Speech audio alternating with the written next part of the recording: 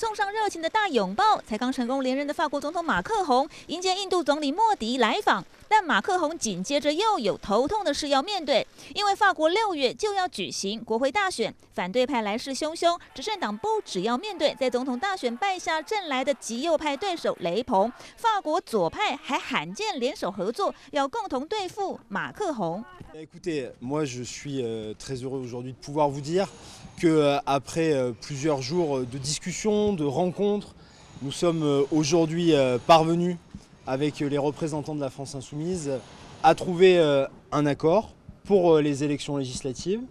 法国绿党和传统左派共产党已经决定支持法国极左派政党不屈法国。另一个左派政党社会党也宣布与不屈法国达成合作共识，将送交社会党内部批准。毕竟极左派领袖梅兰雄在法国总统大选首轮选举时拿下百分之二十一点九五的选票，差点就能在第二轮决选中和马克宏上演大对决。而左派之所以大团结，就是要抢攻国会的多数优势，来阻止马克宏的轻商政策。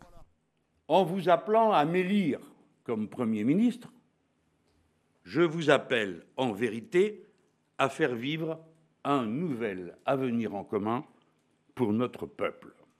左派联盟提出的政策包括将退休年龄降到六十岁，以及提高最低工资等。近来的调查显示，大多数的法国选民愿意接受由马克宏和来自另一个政治派系的总理共治。挺过大选的马克宏能不能守住国会多数席次，将攸关未来能否顺利执政。欢迎大家林综合报道。